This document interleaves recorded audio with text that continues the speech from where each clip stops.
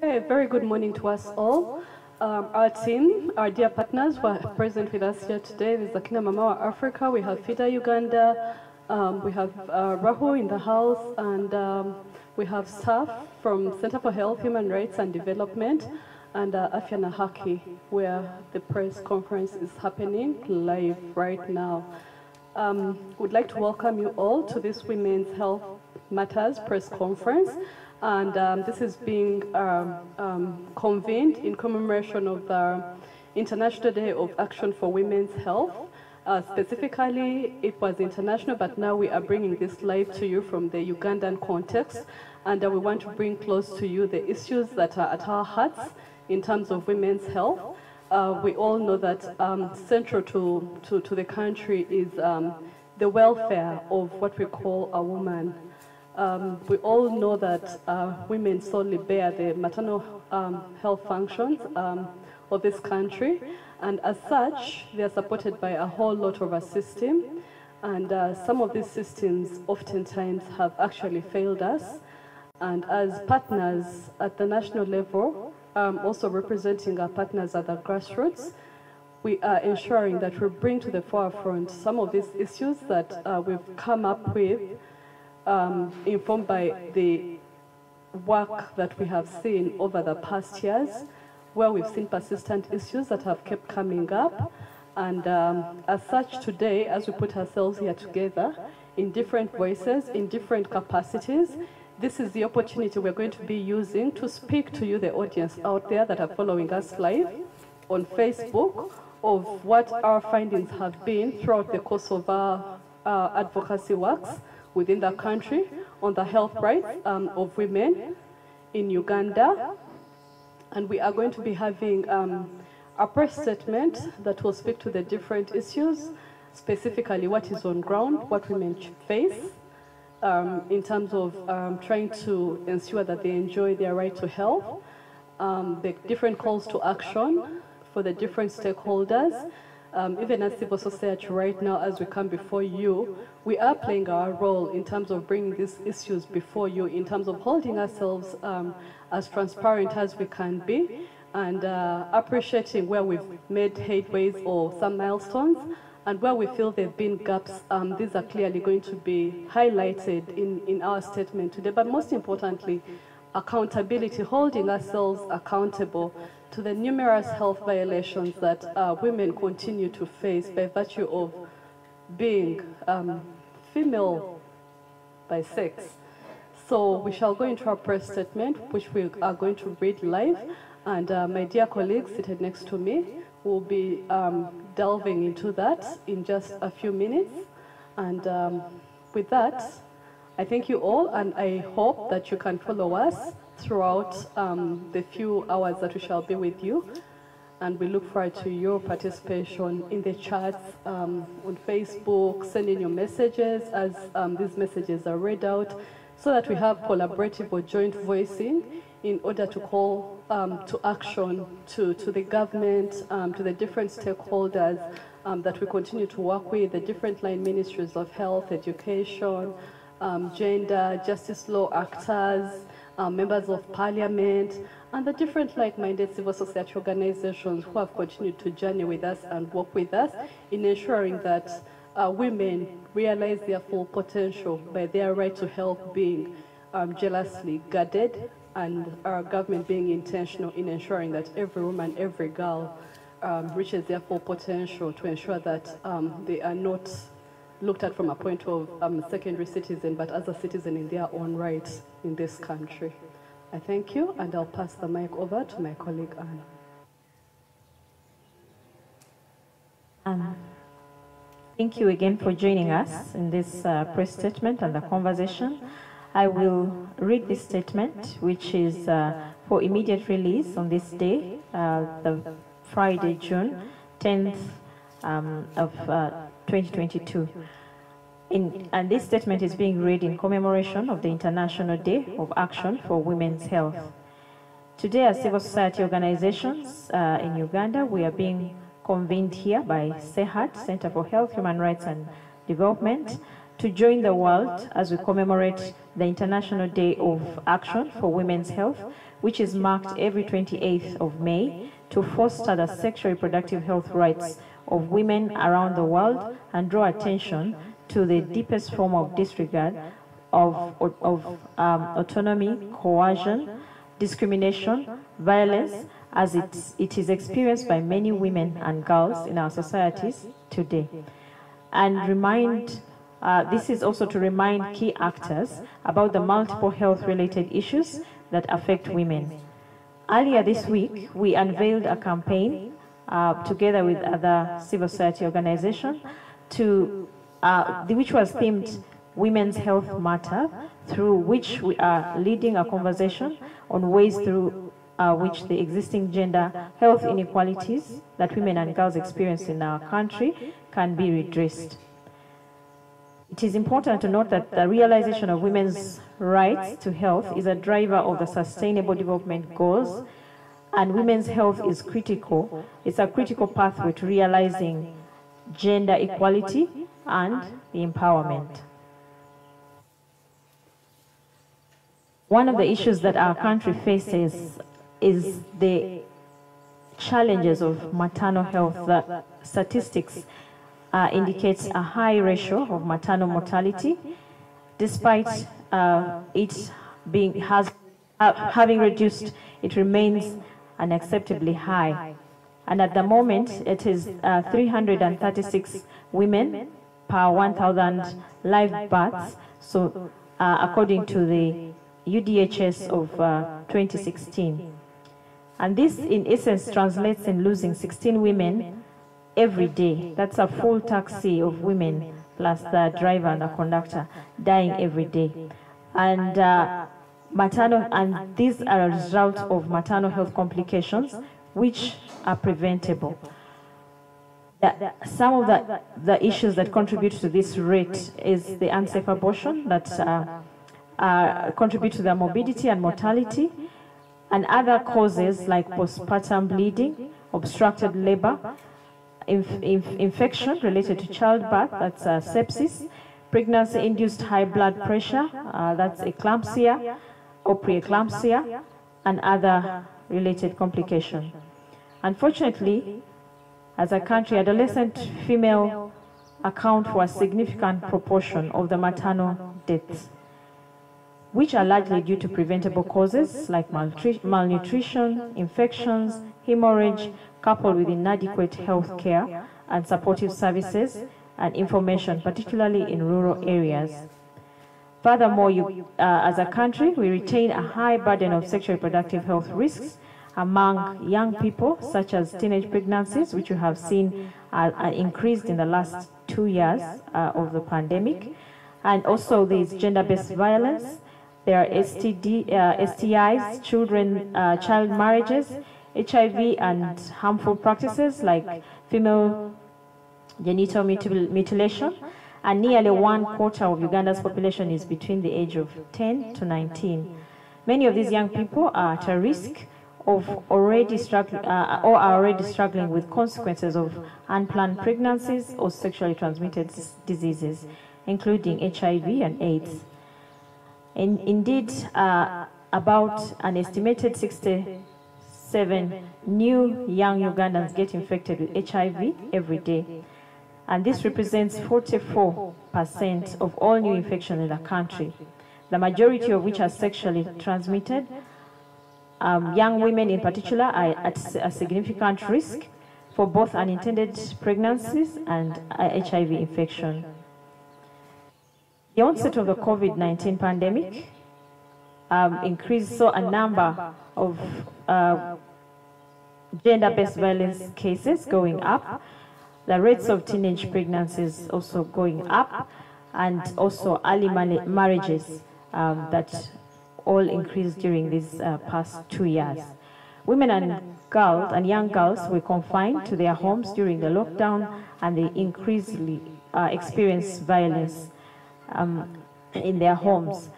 The measures to respond to COVID-19 further exacerbated the risk factors for vulnerable populations, such as women, as they were locked uh, in their homes with their abusers and isolated uh, from help that they needed.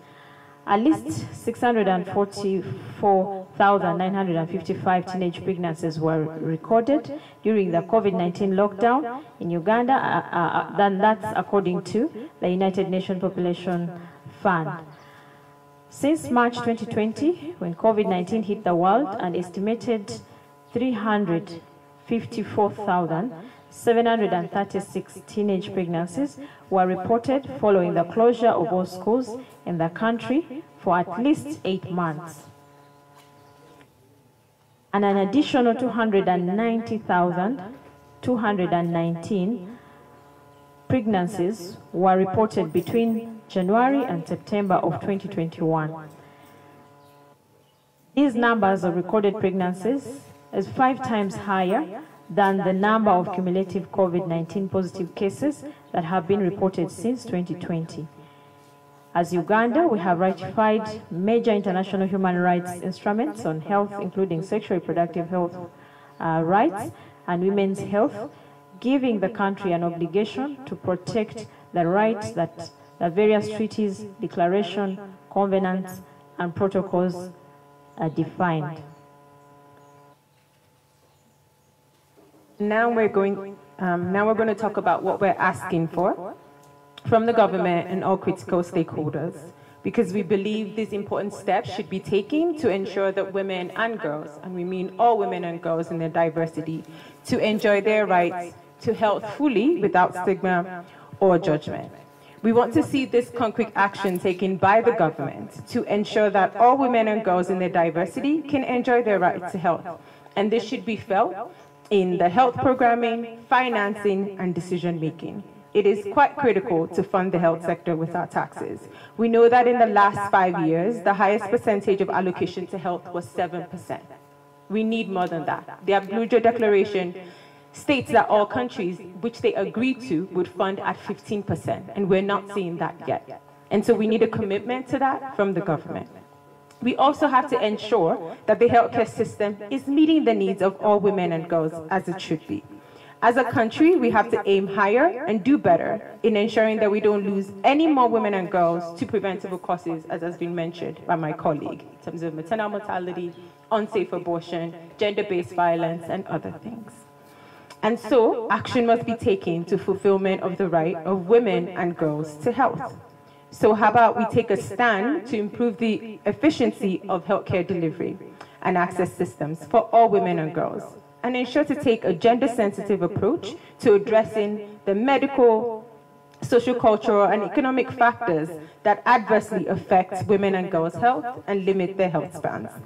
We want to see improved access to information and services, especially for sexual and reproductive health and rights. We also believe that the government has the power to invest and create ways to improve women's and girls' health. So more than anything else, we're asking again that we need sufficient funds in the national budget for maternal health care, but for comprehensive sexual and reproductive health services. Thank you. We ask everybody to play their role. From civil society organizations, we've done this through creation of evidence, um, but also making sure that we contribute to the development of policies where government has collaborated with us. In addition to that, we have held government accountable through strategic uh, litigation. And with this has yielded positive results. A case in point being the uh, petition 16, uh, in this petition 16 case, we uh, the we, the court agrees with us and uh, emphasizes the constitutional right of women of Uganda to perform and fulfill their natural maternal function. At this, um, we appreciate the government for the steps they've taken in realization and implementation of this uh, judgment through the maternal health audit, but unfortunately women are still dying due to preventable causes women are still dying due to things like blood, which the population freely donates. Critical to that is also um, calling government to heed and all stakeholders the implementation of the comprehensive sexuality education uh, uh, uh, court ruling, uh, that uh, a positive ruling that comes in after five years of say hard battling with the government of Uganda in court uh, that yields a positive ruling. With this, the court, is, uh, the uh, court tasks uh, the Ministry of Health, of Education and Sports to develop a policy on comprehensive sexuality education within two years. With this, um, we know that for sure access to information, which is can only be grant, uh, granted through uh, availing uh, sexuality education, can only be a, can only be a contribution, and it will go a long way in improving the sexual productive health and rights outcomes to realistically look at meet the challenges that young people face. As we continue to have contestations of sexuality education in Uganda, we still risk our young people uh, to live without critical sexual reproductive health and rights information. This is uh, not only causing to their death, but it is also exposing them to teenage pregnancies, um, to teenage pregnancies. It is causing them uh, to drop out of school because they are pregnant. It's, um, it's causing them to uh, get exposed to HIV.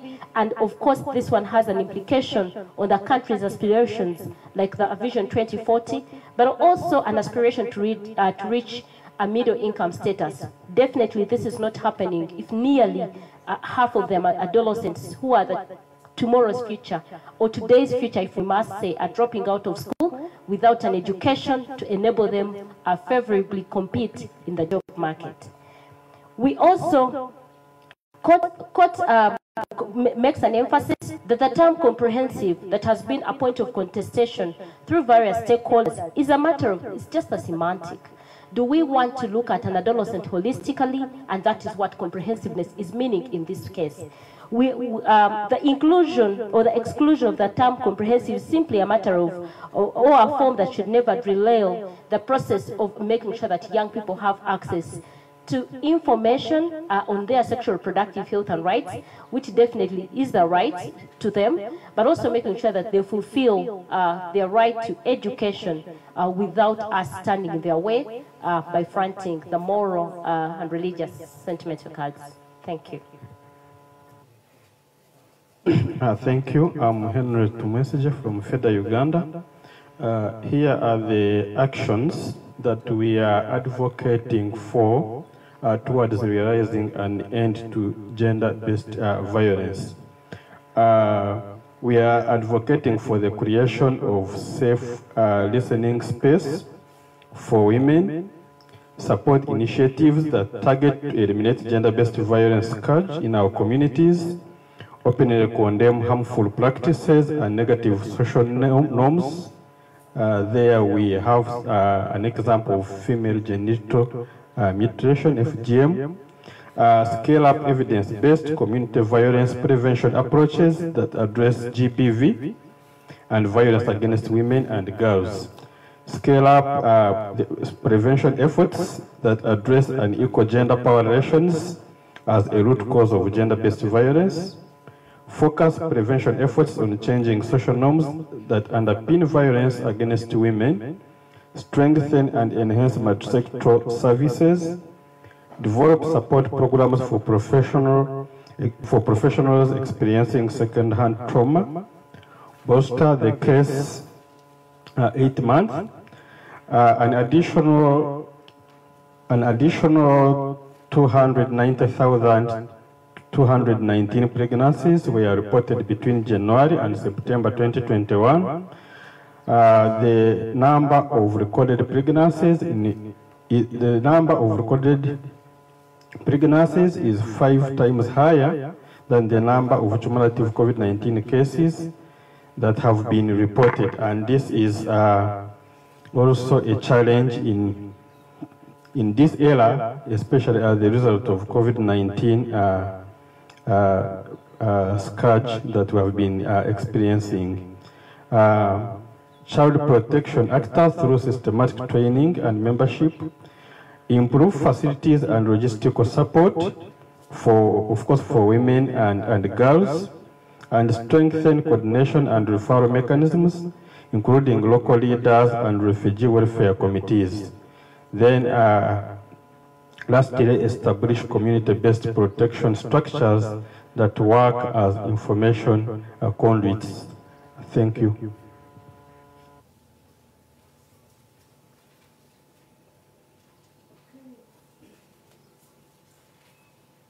As we've all heard, um, there are quite so many issues that are still disturbing, and um, from the statement, we clearly see that we know where we want to head to, but most importantly, we also know that we have um, our taxes that should be well accounted for as a nation.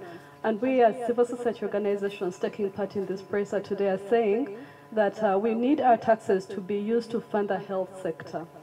This has been a call that has come in, year in, year out. We know that um, the, the budgetary allocation to the domestic funding in health is always in IC, ICU. It's always in intensive care. You know, health and um, human resource um, go hand in hand. If you have a healthy nation, then you have a productive economy. So we're calling uh, upon government to ensure that our taxes are properly utilized, to ensure that um, uh, women and girls of this country receive their maternal health care services in a comprehensive uh, manner, but most importantly, using a gender lens while we budget for our health systems in, in, this country. Uh, we also really want to call upon um, our nation to ensure that uh, women access the right sexual reproductive health rights information through comprehensive packaging um, of this information to ensure that um, girls and women and the support system around them, even the men, are able to make informed decisions or choices that pertain their well-being. Oftentimes, we have been choosy as a country and we have always used the ticket of values-based uh, approach in, in realizing justice for all. But we also need to be questioning because the world is not static. It's always evolving and the emerging trends all over the globe. And if we are working towards being part of the global village, we need to be alive to these changes. And uh, we cannot keep hiding our heads in the sand and saying that we are values-based at the cost of certain human rights of a particular section of this country. And when we're talking about women and girls, we're looking at women and girls in their full diversities, every sense of the word of um, diversity, to ensure a meaningful participation and inclusion. Um, here, our audience out there and our partners, I think um, this statement has been comprehensive and it's given us what the problem is, the calls to action in terms of what can be done, but most importantly, it's highlighted for us the issues that women keep struggling with when it comes to um, realizing their full maternal functions as a nation or as part of this nation. And with that, uh, we are beautifully uh, clouding these t-shirts and um, our audience, these t-shirts have different messages and most of them have different calls to action. But we also have different voices at the back, as you can see. There are messages on placards, but also would like to take this opportunity to call on the different uh, members of um, this convening today to boldly add their voice, not just to the placards and the messages in the t-shirts, but for you to actually hear from them what they would like to see different when it comes to safeguarding the right to health for women and girls um, in our country.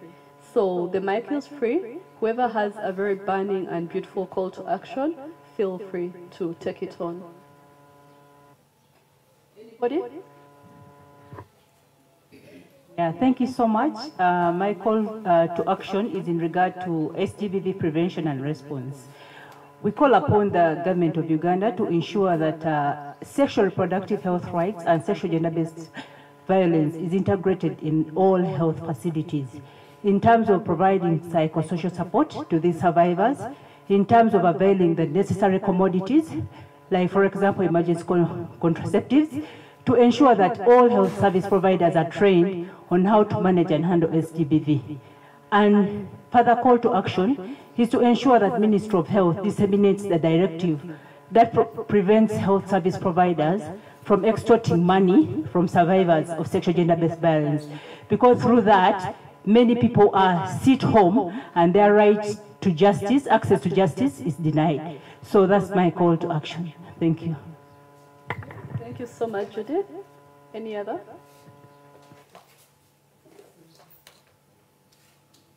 Good morning, everyone. My call to action and voice is goes to the health workers. The midwives, they were recently on strike, and the issue is they are not being paid enough. they're not facilitated. So we need the government.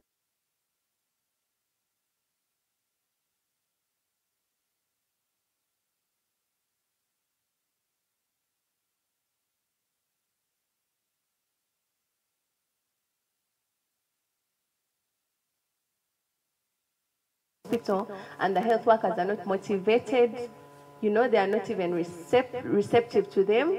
And that's one of the leading causes because you get to hospital, there's no one to attend to you, and you die. And that has to stop. Thank you so much. Thank you so much, Mima. Feel free to drop call. Thank you. My call to action is uh, government to provide facilities in hospitals. Most of the deaths that we are seeing it's because some of the facilities, some of the of the things that are supposed to be used when um, mothers are giving birth are not available. There are no gloves. The mama kits are few. For some health facilities, they, they are not even there. So my call to action to the government is to provide facilities in these hospitals, in these health centers, such that we see our mothers give birth safely and go back home with their babies. It hurts to go home, to go to hospital when you're well, and you lose a baby just because there were no gloves, just because there was no blood. It is so hurting. We've seen lots of death. Families are suffering, and it's not something that would, no one wishes to be in such a position. My call, my call to action is to the men. Um, we usually leave the responsibility of women's health, women's menstruation, and women's rights to the women. But these men are the ones that are making these women pregnant, and these men have daughters. So all these issues that affect women are affecting the men indirectly. So they need to join us in this fight. That's my call to action.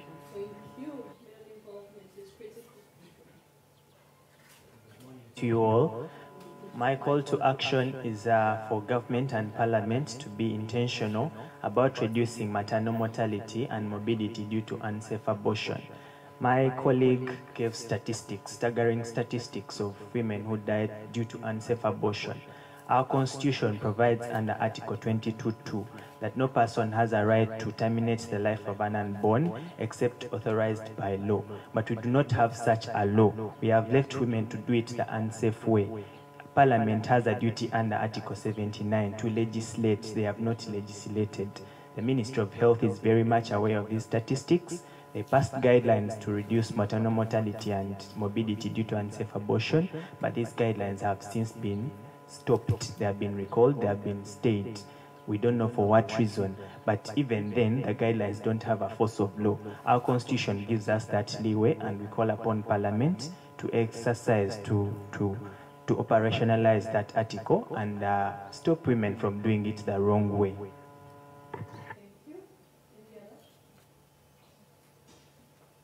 In the recent months, from January to May, SE had received a number of maternal deaths because the health workers were requesting money from the teenage pregnant mothers, which they did not have. This call is for all health workers in the country to do the ethical work and not request, especially in government hospitals, the parents, the mothers who have come for delivery, especially when they need emergency obstetric care. So this will help us reduce the numbers. When a mother dies because they cannot afford 30,000, they cannot afford 50,000, we lose a mother, we lose a child. This has to stop today. Thank you. My call to action for government is uh, around HIV and maternal health.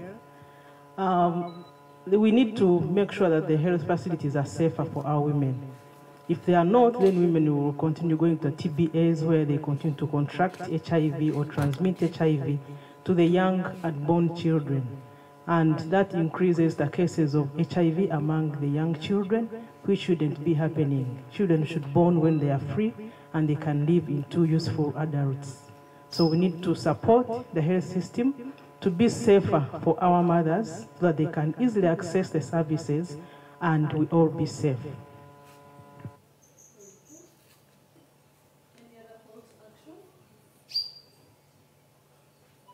Uh, Thank you. I want to talk about inclusivity in the, in the delivery of health services uh, to women, uh, especially when you go to these labor wards or delivery rooms. We actually need their specialized beds for women with disabilities, uh, not these normal beds for normal women who don't have any of those disabilities. It's a very big issue and we see them, uh, they are left to deliver from the floor because they, their uh, physical uh, appearance cannot match with the beds, delivery beds uh, that we currently have in our own hospitals. So I call upon the government to also think about the same so that uh, women with disabilities can also find comfort when they are giving birth. Thank you. I also want to add a voice to the asks that we are uh, putting forward. In particular, we have heard from the leading causes of maternal health as hemorrhage, which means uh, bleeding, overbleeding, and that requires that blood is there. When women are going to these facilities, they need to find blood in those facilities in the event that they overbleed and they need uh, to get blood. We've seen a story just uh, about two days ago of uh, a, a woman who died uh, in a health facility while giving birth because there was no blood in the, in the hospital. So the relevant stakeholders, the Uganda Blood Transfusion Services, the parliament that allocates uh, to the budget for the Uganda Blood Transfusion Services, the Ministry of Health that uh, which the, plays the overall site, uh, overall uh, oversight over the, the agencies to ensure that there's blood um, in those health facilities, but also to the public. It's a call to us to donate. Uh, next week on 14th is uh, World Blood Donor Day. So to call to us as the public to come forth and donate because blood cannot be manufactured, but it has to be given voluntarily by all of us in support of the women uh, and the girls and our mothers who are giving birth. Thank you. Uh, when talking about uh, maternal health commodities beyond the mama kits, I think blood should be central in everything, and how it's stored and how it's accessed is supposed to be made public information. Because every single day, I'm sure, whether reported or unreported, we can relate to somebody we know that has lost a loved one due to um, unavailability of blood coming in much later when a life has been lost. Um, so um, I think with that personally, I've been reflecting in terms of the high rates of defilement cases in this country that have still left so many uh, young girls and families stranded.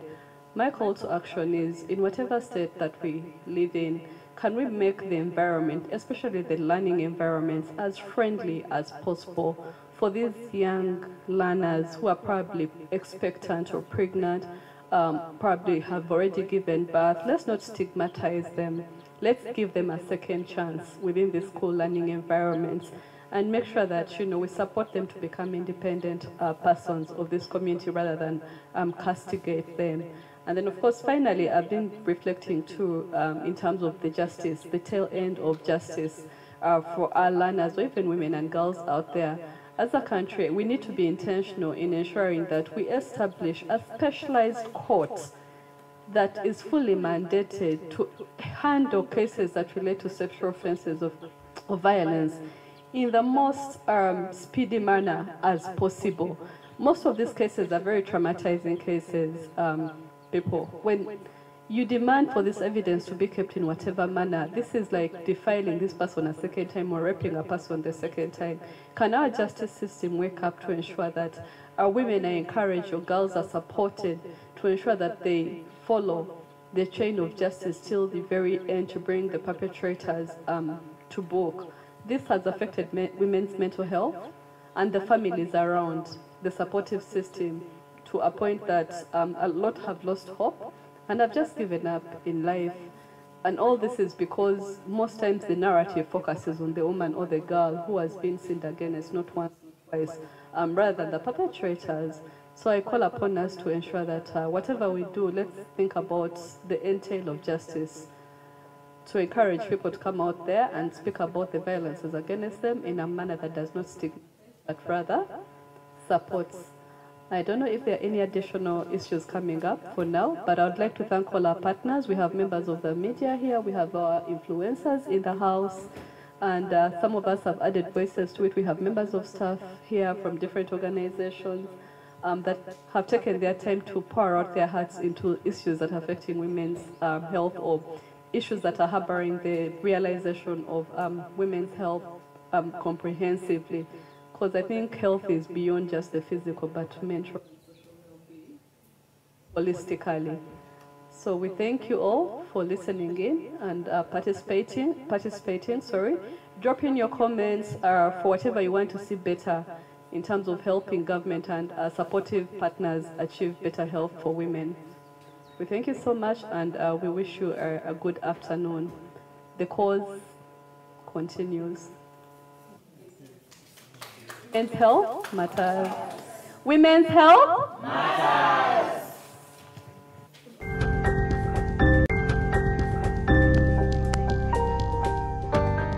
Uh, this week, the Center for Health, Human Rights and Development, CEHURD, uh, joining the rest of the world to commemorate the International Day uh, of Action for Women's Health.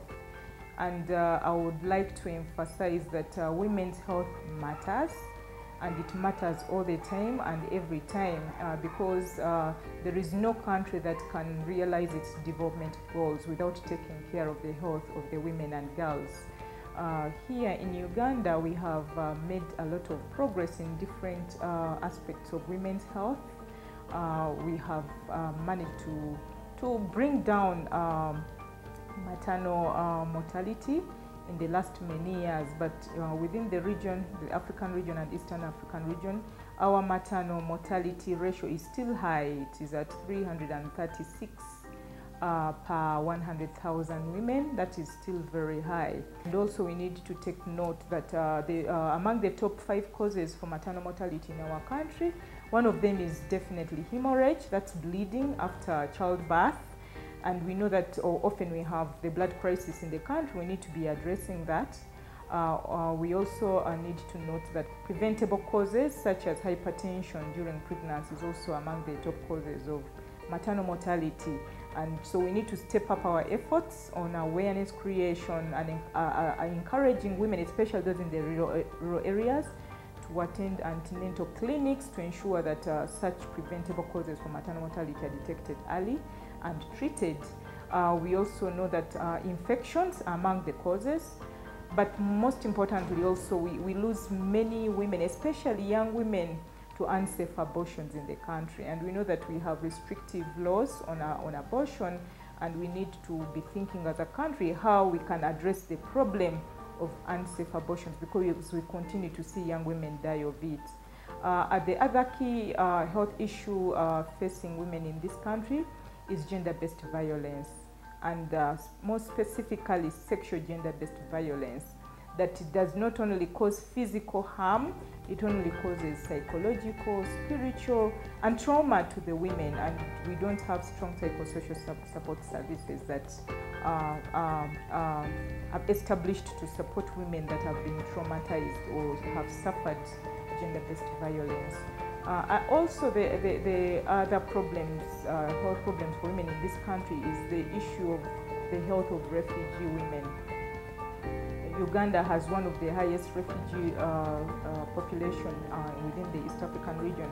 But I want to note that 82% of refugees are actually women and children, and they have very unique health challenges, uh, including the difficult for them to access health services and we need to pay attention to, to that. So uh, um, I want to also note that as we focus on addressing uh, issues of women's health, it is extremely important for us to address the social determinants of health that we know very well, the issue of education. Uh, we need to ensure that girls and women continue to uh, get education and we know it's a challenge for the country due to teenage pregnancies it should be our priority to ensure that girls get education. We know that uh, issues of water and sanitation are important for women's health and meaning that we really have to ensure that uh, there is uh, access to safe water for, for girls and women. Uh, we also know uh, that um, um, issues of uh, education, water and sanitation, um, housing, income status are all uh, social determinants of health that impact on the health of women. So uh, again, uh, uh, as part of the commemoration of this week, uh, for us to take action on women's health, I want to call upon our government, development partners, civil society organizations, and also private sector to give give much more attention to the health of girls and women in this country uh, by removing the barriers to uh, to uh, to their realization of their uh, health and, and, and well-being. Number one is to ensure that we allocate uh, enough funds to address all the issues that I've mentioned. Number two, we need to pay attention to the infra health infrastructure. The health facilities need to be equipped, the healthcare workers need to be skilled, and so on. Uh, number three, uh, we need to strengthen psychosocial support services within our health system to be able to address those, those, those the non-medical health issues that women are facing.